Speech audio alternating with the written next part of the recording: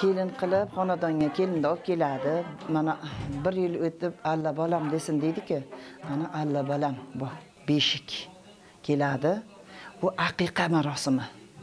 Aqiqa marosimi mana onayi bachaga bitta mana ehson beriladida endi. Shu farzand qiz tug'ilsa qizga bitta o'g'il tug'ilsa ikkita jonlik suyiladi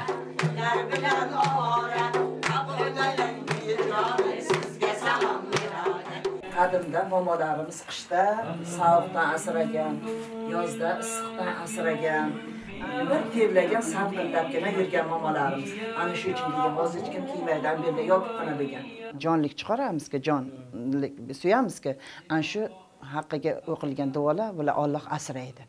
Bismillohdan boshladim dono qizim yor yar kalamingiz yar yor hadichayi kibriyo sizga malham yor yor oysha onam mehrini sizga bog'lar yar yar.